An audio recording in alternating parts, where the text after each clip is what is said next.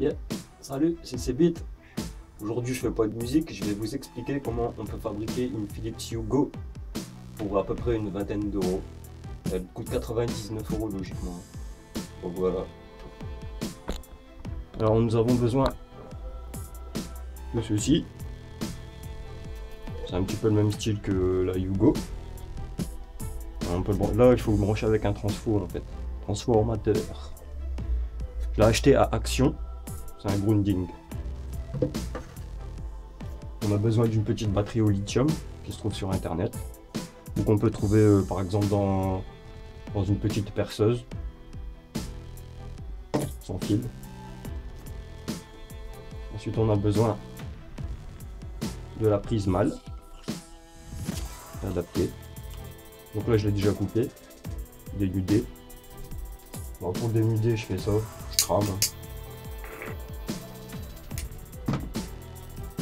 Comme d'habitude, ne faites pas ça dans votre chambre, c'est dangereux. Voilà.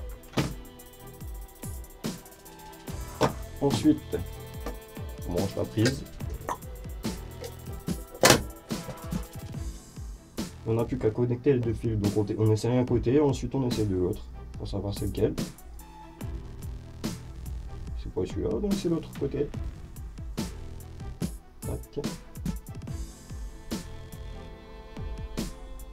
Et voilà, ça s'allume. Bon, ce qui est intéressant avec la Grunding, celle-ci que j'ai acheté à Action, 16 euros. Tac.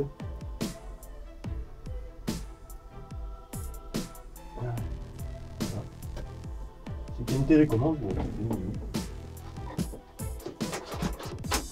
Il y a une télécommande avec. Et on peut choisir des couleurs.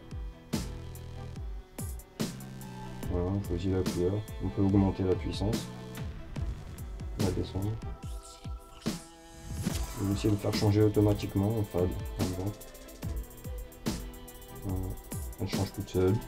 En flash. Comme ça, on peut la transporter partout où on veut. Et c'est Bit Production